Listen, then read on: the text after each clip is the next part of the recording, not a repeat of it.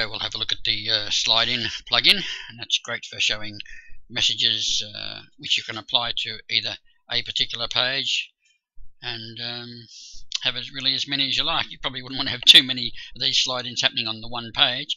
It might be a bit confusing, but it, uh, you could certainly have uh, a couple of them. Just to demonstrate what a slide-in is, if I reload the home page,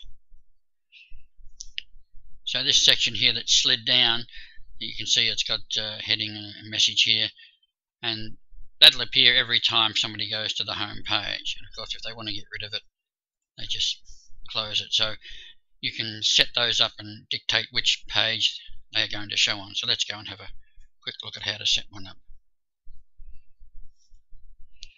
And I'll just go back to the plugin here just so that you uh, know where to start from. So it's plugins, then you've got your slide in, and they're the ones I've got at the moment. This one is the one that you actually saw in the demo there. So you can turn them off, of course, and that means that um, your slide-ins are now not operating. Not sure. Ah, there we go. Bit of a hiccup there why it didn't show. Have to look into that. Okay, so uh, let's edit this one and just have a look at the settings in there.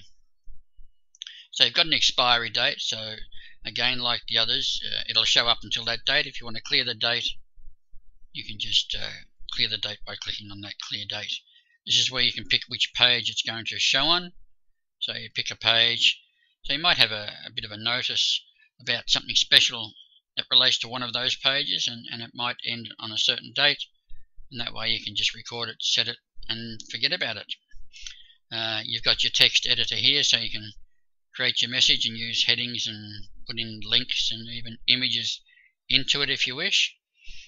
And you've also got uh, a size here. You can dictate how wide you want it to be up to the um, maximum width of the screen basically or the, the web page and also the colors so each one can be a, different colored text backgrounds borders and the heading can be a different color uh, they don't have to all be the same and of course you click on the active box to make sure it's active and turned on and save the appropriate settings. So I'll just quit that and we'll go to the other one here. You can see this one's active, turned on, so we can edit and delete it. This one's not active, it's not turned on, and we can still edit or delete it. Um, so we'll, we'll edit this one, and it hasn't got a date, so that's fine. It's been told to show on the home page, so we'll leave that as is for the moment. We'll make it uh, 600 pixels wide and when we click in there we can choose different colors and so forth. Uh, so we might make we'll make it a bit leery. This one we'll make the background color pink. How's that? And turn it on to make it active. And we'll save it. And just a warning here that you may have to refresh the screen here because it's still showing not active. So just right click and refresh. And now it's it's up to date here. Now when we go back to the home page, if we reload it,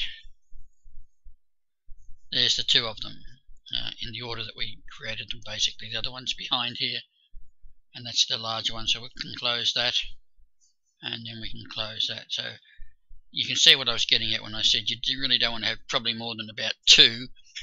Uh, if you have five or six, it's going to be very confusing for people having to close them all. So you can apply them to any given page within your website.